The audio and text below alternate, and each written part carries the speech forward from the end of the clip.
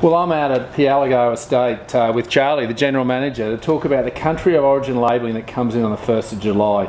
Charlie is a producer and a, a retailer. What's Yes. that mean to you, mate? Uh, we've we adopted the um, the process straight away. We were excited about it because, you know, we buy Australian pork, we buy the best pork, and we want the consumer to know we're buying the best pork. So, it's it's very positive for us. It helps our product stand out on the shelf. Yeah. Look, our pork guys are doing a bit tough at the moment. Look for the green and gold kangaroo and the barcode. Support your Aussie farmers. You then know you've got the best ingredients in the world going into your mouth.